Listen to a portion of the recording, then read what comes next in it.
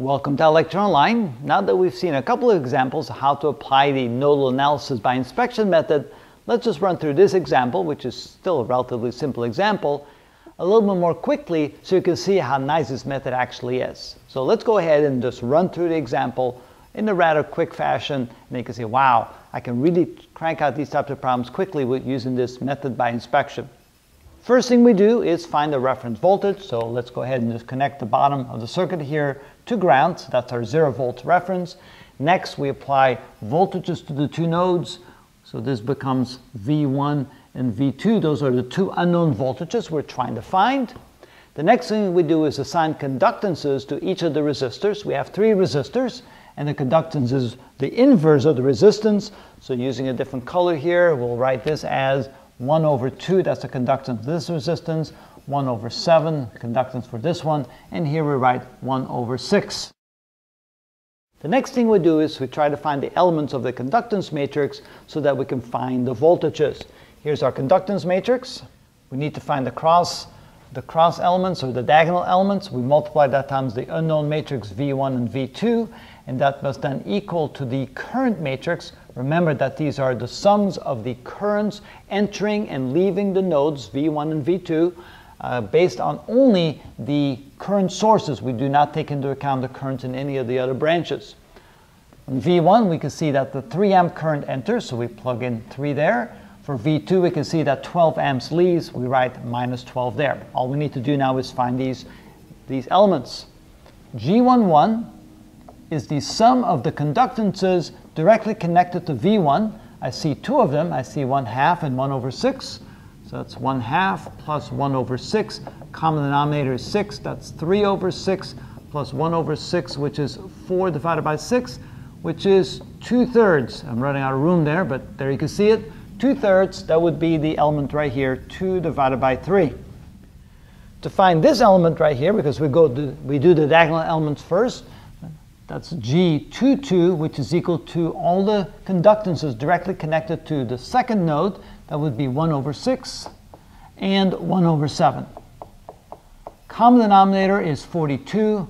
That would be 7 over 42 plus 6 over 42, which is 13 over 42. See, that's right. That's 7. Yep, that would be correct. That's our second element right here in the diagonal, 13 divided by 42. Now we need the off-diagonal elements. Here we find G12, which is equal to G21, which is equal to the conductance connecting the two nodes, the direct connection, which is right here, that's, and it's the negative of that, negative 1 over 6. So we write here negative 1 over 6 and negative 1 over 6. So those are the off-diagonal elements.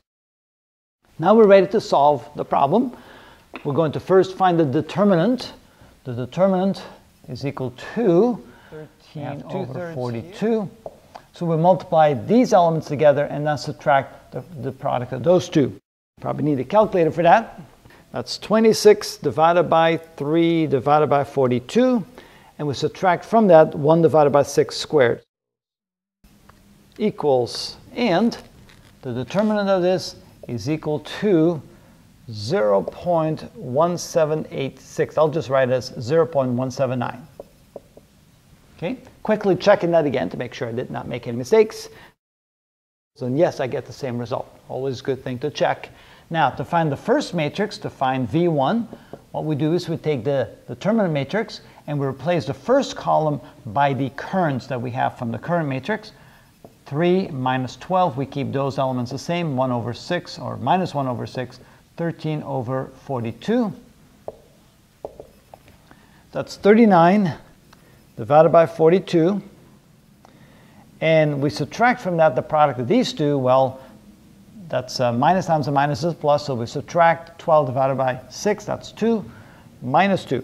And we get minus 1.071.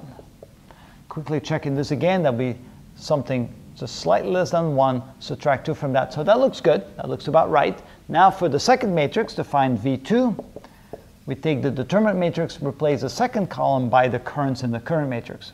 2 divided by 3, minus 1 over 6. Then we write 3 and minus 12. 2 thirds of minus 12 is minus 8. Subtract, well, subtract a negative number, that's like adding a number, minus 8 plus a half, 3 times 1 6 is a half, that would be minus 7.5. Now we're ready to find V1. V1 is equal to the uh, quotient of the first matrix here, that's minus 1.071, divided by the determinant. Oh, I might as well write it out, that way you can see where it came from. It's always better to see that. So V1 can be found by taking the first matrix 1 divided by the determinant. In this case, that's minus 1.071 divided by 0.179. And we get minus 5.98. That's about 6. Let's just write as minus 6. Minus 6 volts, close enough. And for V2, V2 we take the, um, well, I might as well write it out.